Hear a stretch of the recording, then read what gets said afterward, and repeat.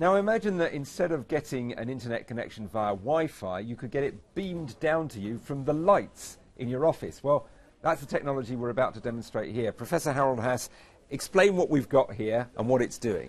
So, so what we have here is an off-the-shelf standard light fixture. It uh, provides illumination as we expect, but at the same time we have a unit here that's connected to the internet via this cable and via these two cables. That unit connects that light bulb. So the internet is basically routed through these wires to the light here, and the light uh, is changed. The intensity of the light is changed very rapidly.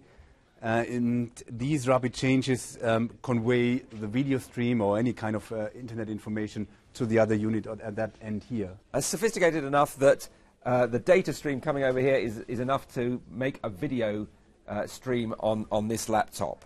So how do I know that this computer really is getting its internet connection via, via that light rather than from the Wi-Fi here? Um, you can uh, easily test it by blocking the receiver. Let's put our hand there, and it's gone off. Yes, I can see the red light flashing. So that, that means the link is broken. But uh, if I just do this, uh, block it, we'll see that the, the lights are still green, it's still active, so it's, it's a non-line of sight technology. It's, it works even off reflected uh, objects. Well, it looks clever, but what advantages, though, does this have over Wi-Fi, which we've all got used to? So Wi-Fi has been so successful, we have deployed so many Wi-Fi access points that they, they interfere with each other now and slow down the actual data rates. Uh, and with that, we have another opportunity, another pipe, if you want, another, another data pipe provide additional capacity. And you're also claiming that it's more secure. Just show us why.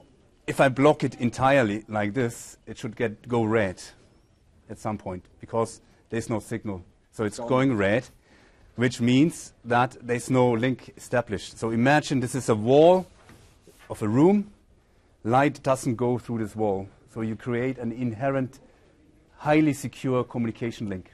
Obviously, we need to make it smaller and miniaturize that unit to a very small piece of silicon of the size of a square centimeter. And then this little integrated circuit can be implemented into a dongle, which can be plugged into a, a laptop or a smartphone, and it's getting small and eventually will be integrated into all, hopefully all smart smartphones and computers.